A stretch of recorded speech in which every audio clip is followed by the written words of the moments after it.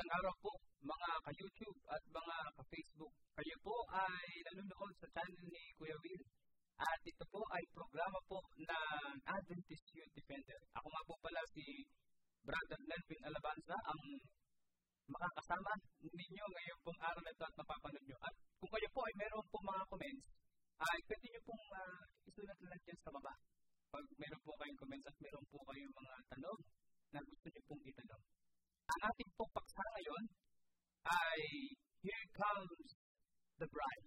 Ito po ay tungkol po sa kasalang magaganap. Hindi po kasalan ko, kundi po ito po ay binabanggit ng banal na kasulatan na ang pagdating ng ating mahal na Panginoong Jesus.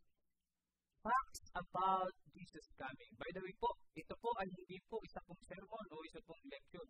Ito po ay Bible study sa YouTube. At pwede nyo po ito i-share sa Facebook. Uh, ito po ay may mga tanong at sagot po na nakabase po sa Biblia yung po mga sagot. Pero bago po tayo magkaroon ng question and answer, ay mananalangin po muna tayo. Tayo po ay manalangin. O Panginoong Diyos na makapangyarihan sa lahat, na siya pong naglalang sa amin. Sinasamba po namin kayo sapagkat napakabuti niyo po sa amin at kami po inyo pong pinagpala ng ganito pong teknolohiya upang amin pong malaman ang katotohanan.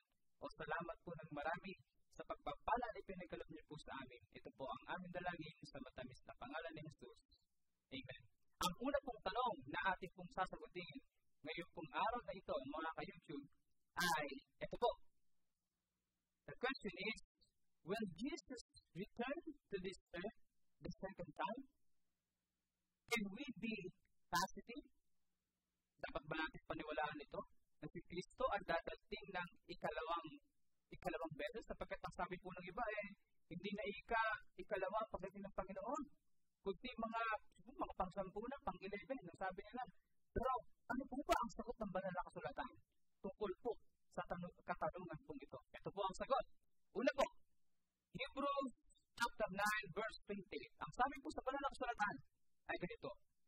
Christ will appear the second time. Hindi po sinabi dyan na Christ will appear na pang 11 o pang 10. Hindi po. Sabi po niya, ikalawang pagparito. At paano tayo nakakatiyak mas Jesus ay muli pong babalik? Ay syempre po, ang Bible po, ito pong itim na aklat na to, ay meron pong kasagutan. Buksan po natin. Ang talata po ay sa John 14 verse 3. Ang sabi po dito, If I go and prepare a place for you, ang sabi ni Kristo, I will come again. Yan po ang pangako ng ating mahal na Panginoong Jesus. Kaya po, tayo po makakasiguro na si Jesus po ay muling babalik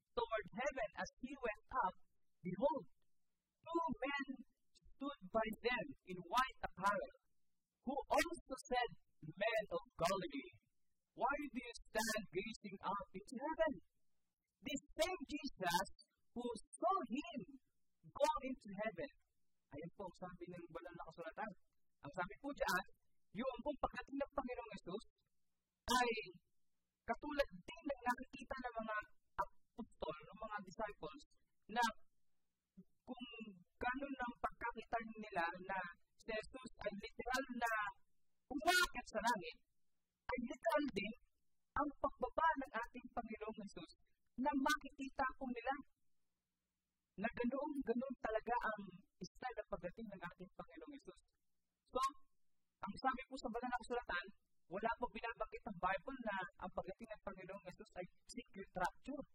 O lihim ang nakakakita lang ay yung mga banal, hindi po.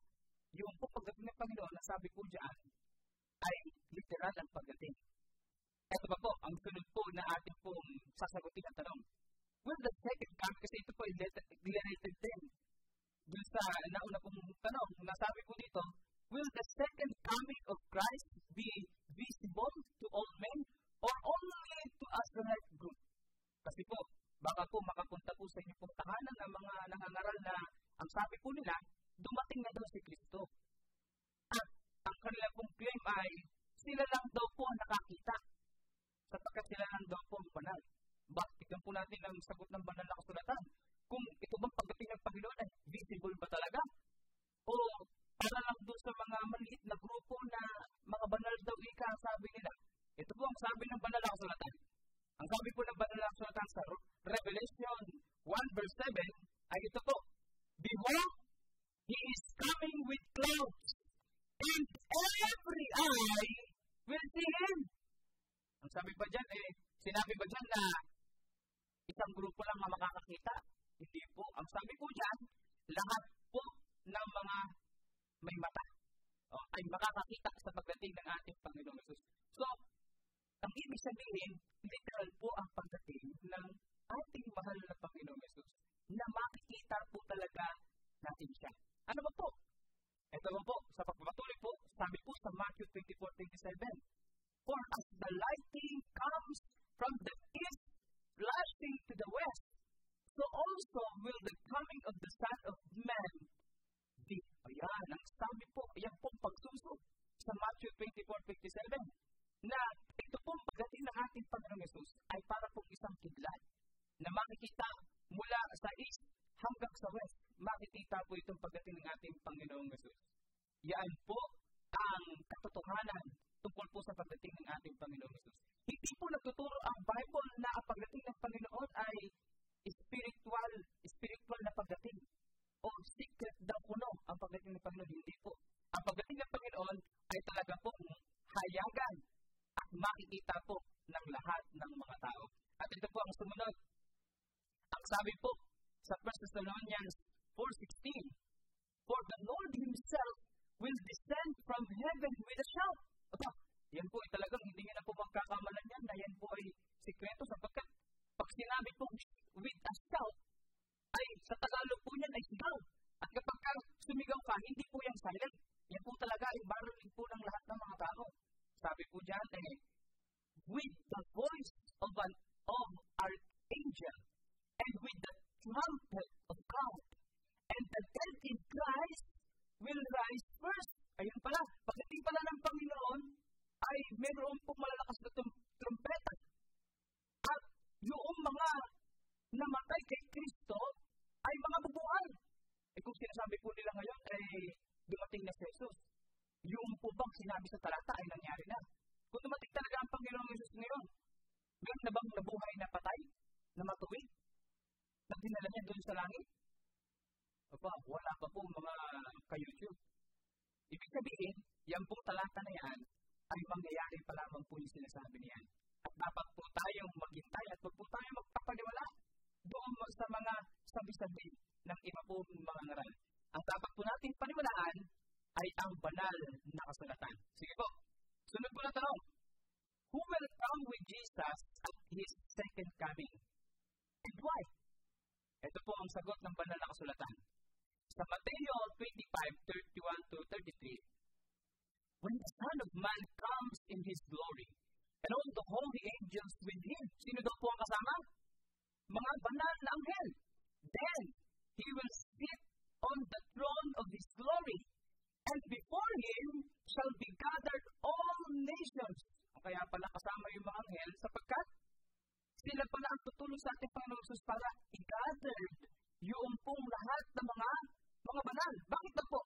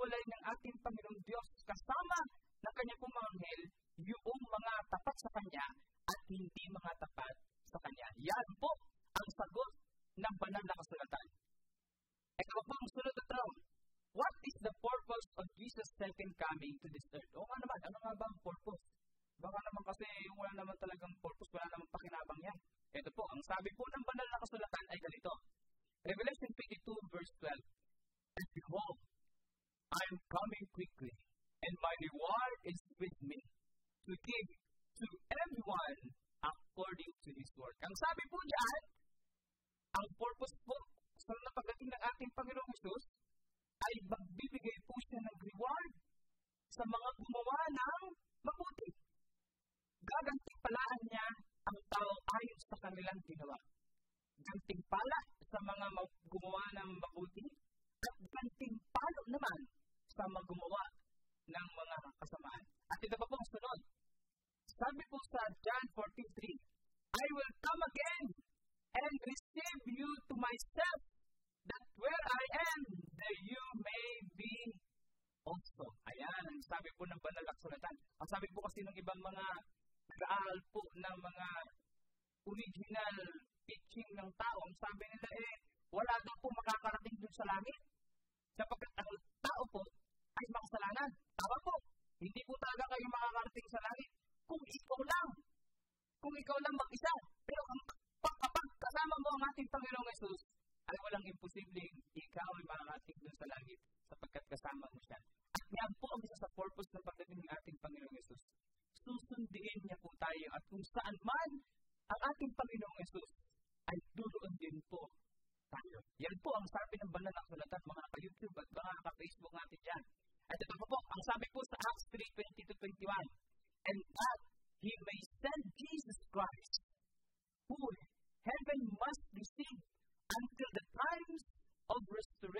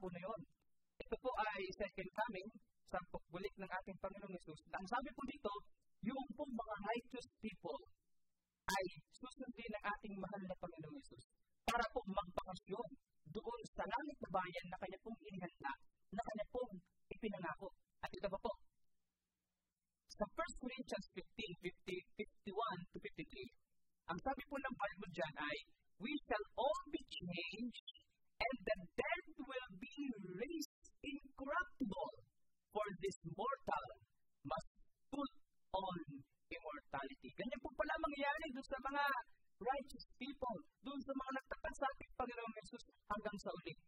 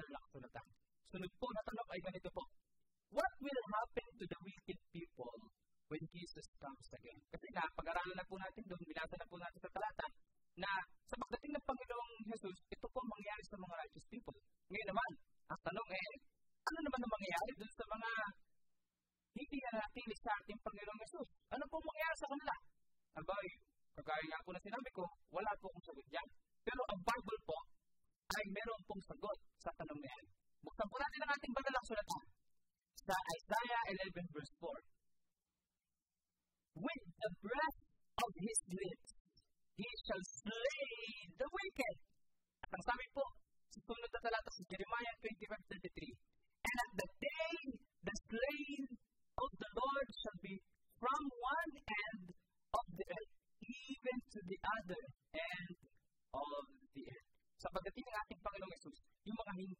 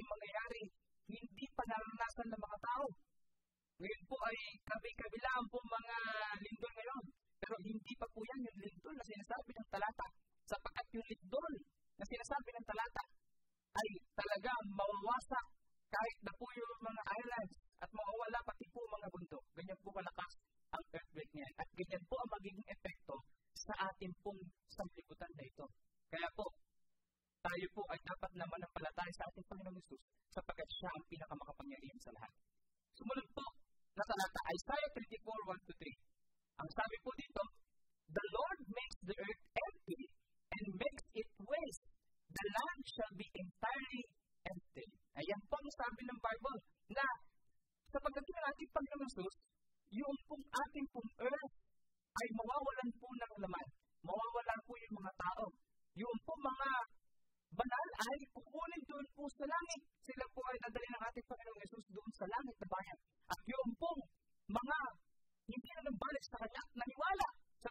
de Satanás.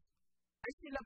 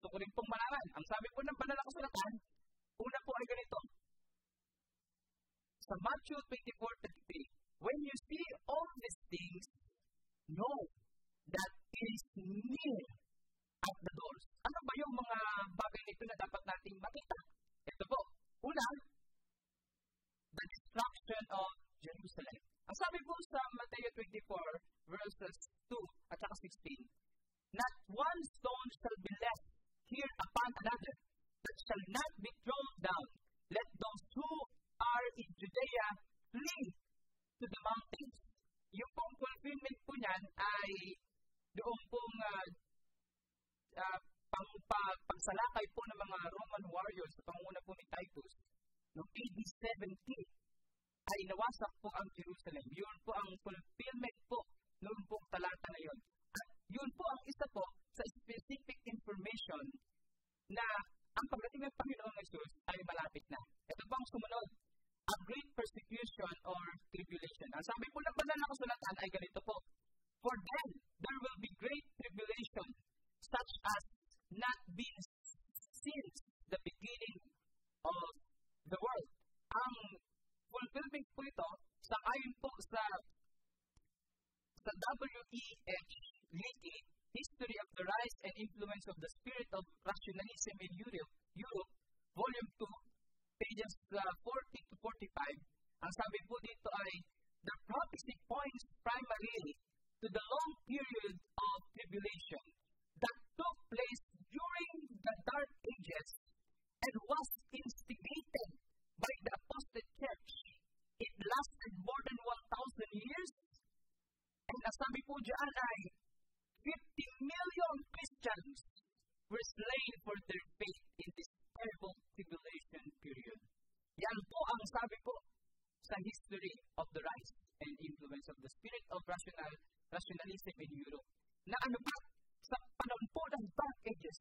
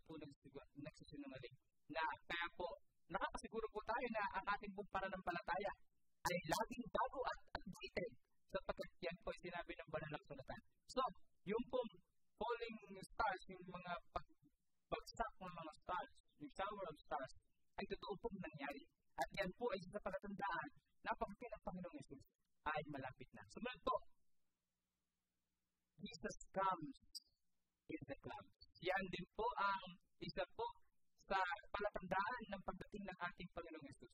Jesus comes in the clouds.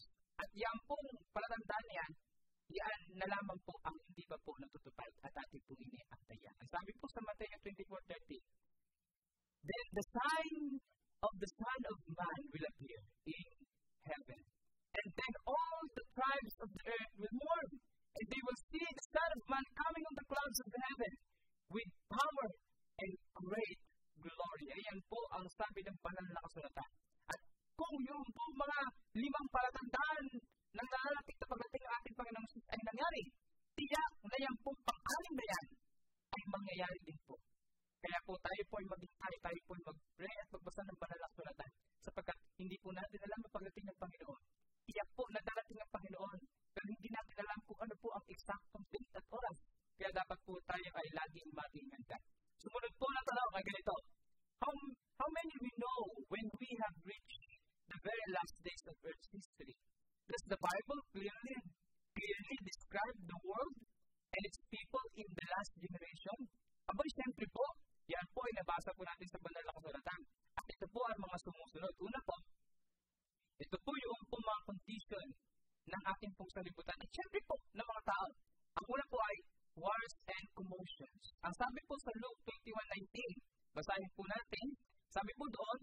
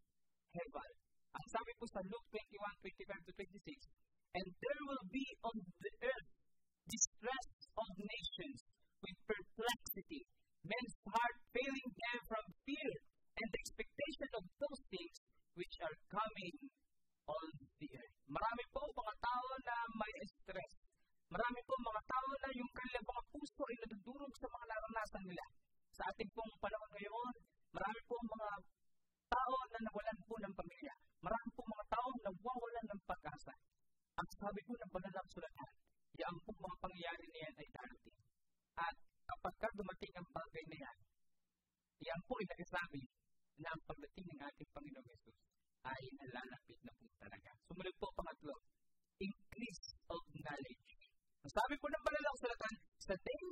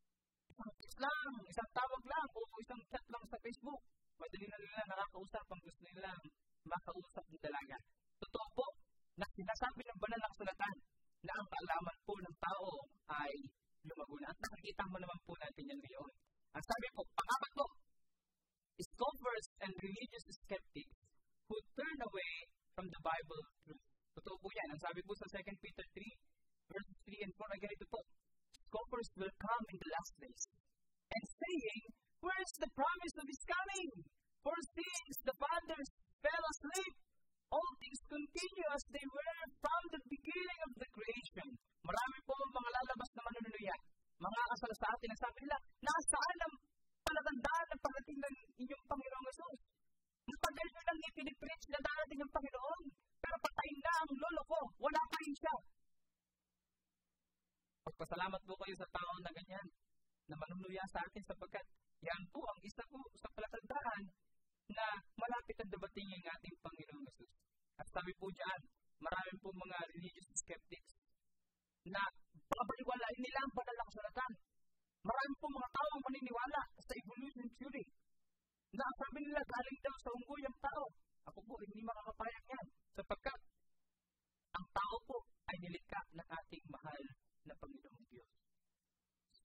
sabi po sa 2 Timothy 4, verse 4, they will let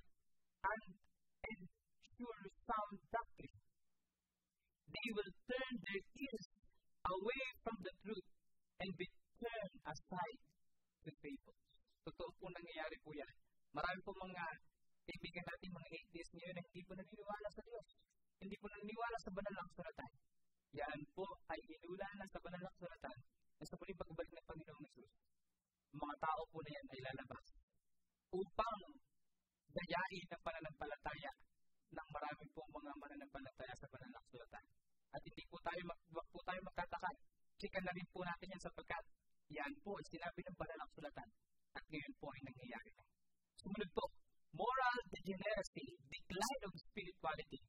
Totoo po bang sinabi ng banal banalang sulatan? Opo, sabi po sa 1 Timothy 1 hanggang 5 ay ganito po, In the last days, men will be lovers of themselves, unloving, having a form of godliness, but denying its power. Totoo po, na yung pong moral ng mga tao ay talagang magdidiklan. Yung kanilang spirituality ay talagang mawawala. Totoo po yan sapagkat marami po mga, mga aral ngayon na nagpapromote na yung pong moral law ay wala na, yung Ten Commandments ay wala na. Kaya po, mas lumalakas po yung power nila na yung pong moral ng tao ay bumababa. At yan pong sinasabi ng banal na tulata. Pero hindi po tayo titigil sa mga oras nito. Kung nagiging high-tech po ang ating pong panahon ngayon dahil sa ang kalaman ng tao ay lalago, gagamitin po natin yan para ipangaral po sa salita ng ating Panginoong Yesus. Totoo po na nangyayari na maraming mga tao ngayon ang hindi maibigin. Kapag ka pumatay ng tao, parang pumatay ng manok. Yan po ang nangyayari ngayon. At maraming mga tao ngayon ang sakim sa kayamanan. Gusto nila sila lang yumaman. Ayaw nilang ipamahati sa iba. Yan po ang nangyayari na. At yan po ay sinabi ng banal na kasulatan. Crazy, crazy for pleasure. Ang sabi po sa 2 Timothy 3, 1 to 4, in the last days, men will be lovers of pleasure rather than lovers of God. Totoo pong nangyayari yan. Lovers of pleasures rather than lovers of God. Totoo pong nangyayari mga kaibigan, mga ka-YouTube at ka-Facebook. Bakit? Mas gusto pa nilang panoorin yung mga boom. Mas gusto pa nilang panoorin yung mga nakakatakot kaysa makinig sa salita ng ating Panginoong Yesus. Kapag ka magandang movie ay kahit pagpuyatan nila ay talagang sige pa rin talaga kahit tumabot ng madaling araw basta walang kapuluhan ay gagawin nila, papanoorin nila. Pero makapakarinig ng salita ng Panginoong Yesus, 15 minutes lang, kinupost na agad to. Ba naman yan? Totoo po, nangyayari po sa, sa ating pong lugar ngayon yan. Sa ating po mga ka-YouTube at saka Facebook. Hindi po namin kayo sinisermonan. Nais po namin ipahayag sa inyo ang katotohanan na nakalagay po sa banal na sulatan. Kung kayo po itatamaan, umaray lang po kayo sapagkat yan po ay totoo. Yan po ang sinabi ng Bible na maraming mga tao ngayon ang mas gusto pa nila ang pleasures kaysa sa makinig salita ng ating Panginoon. Sumunod po. Increasing lawlessness, bloody crimes, and violence. Totoo po yan. Sabi po sa 2 Timothy 3.13, Evil men and impostors will grow worse and worse. Sabi po sa Ezekiel 7.23, The land is filled with crimes of life, and the city is full of violence. Totoo po ba nangyayari ngayon? Oh, Abay, totoo po. Sapagkat kabi-kabila po ang patayan ngayon.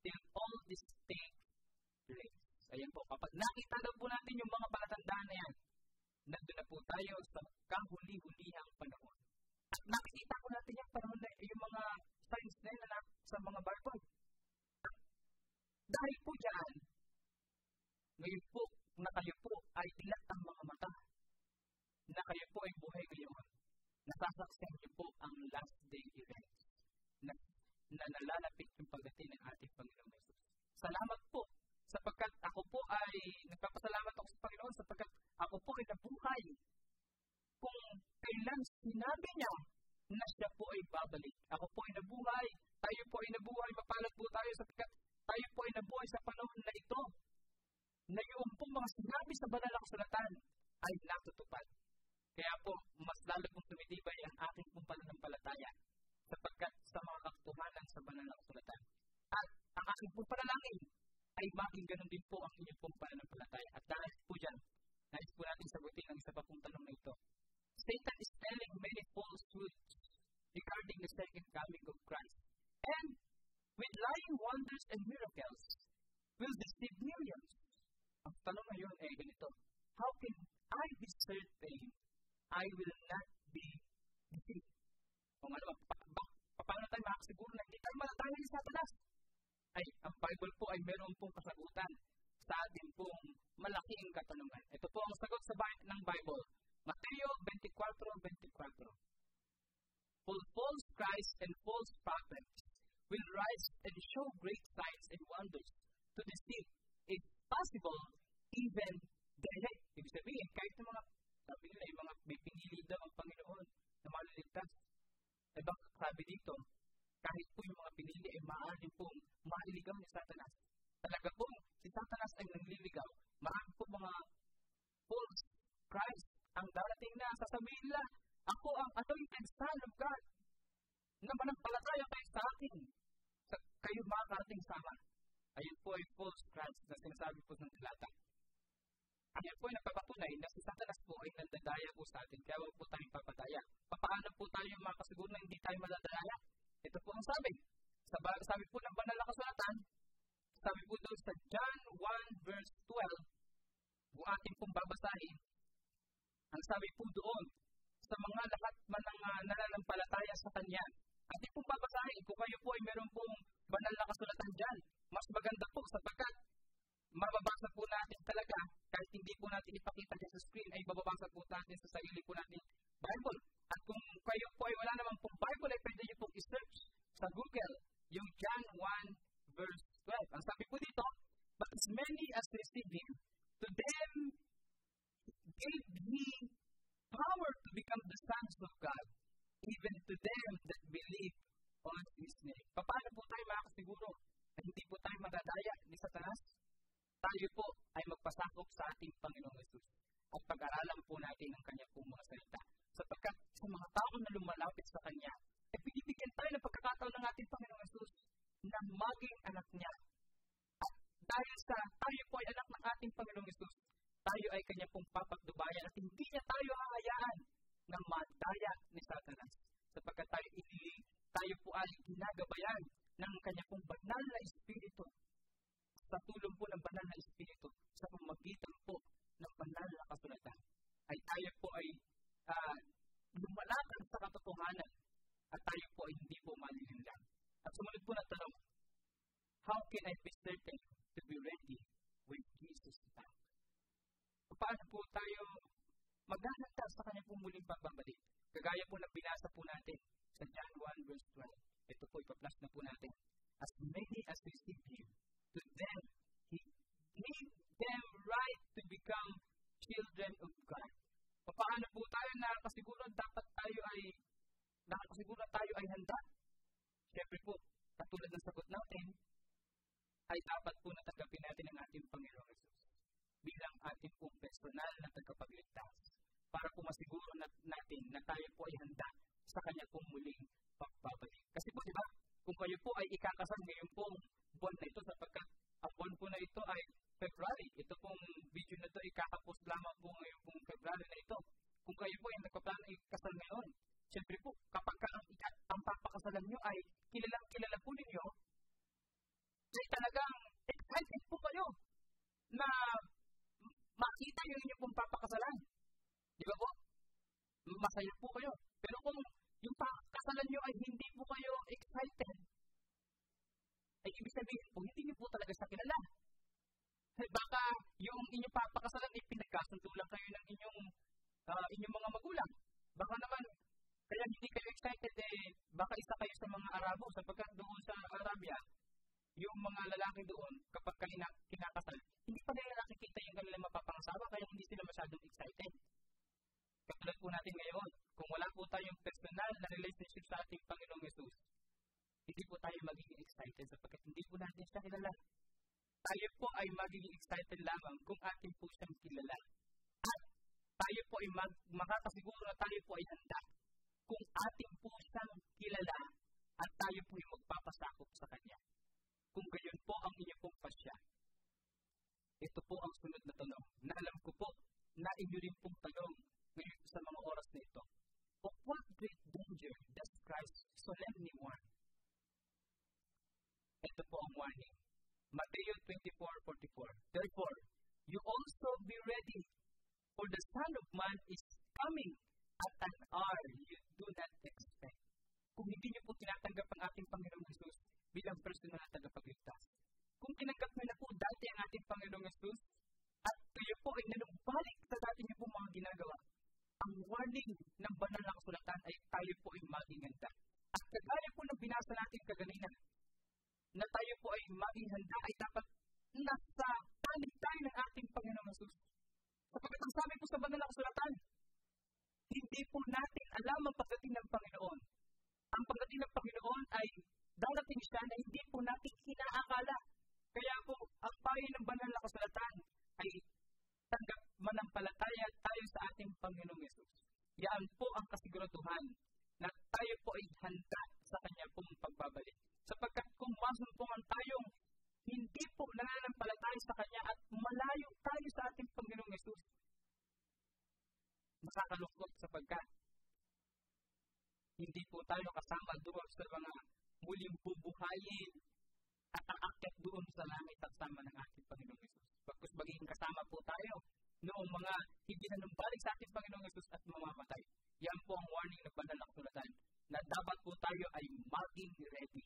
At bago at para maging ready, ay tayo po ay manampalataya sa ating Panginoong Yesus araw-araw.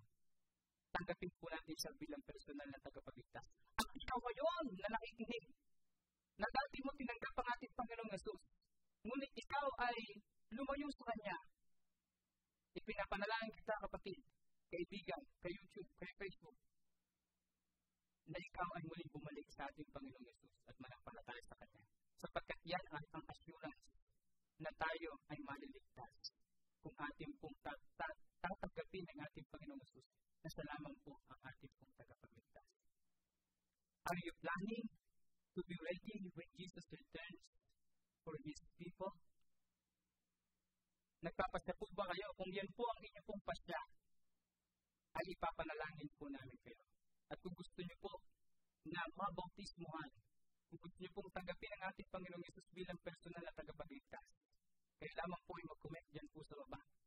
At sasabihin po namin kung uh, kung saan po malapit po na church na pwede niyo pong puntahan. So maraming salamat po sa inyong pakikinig. Pero bago po ta, bago niyo po ito i-close, nais po namin kayong ipanalangin. Tayo po ay manalangin. O Panginoong Diyos na makapangyarihan sa lahat.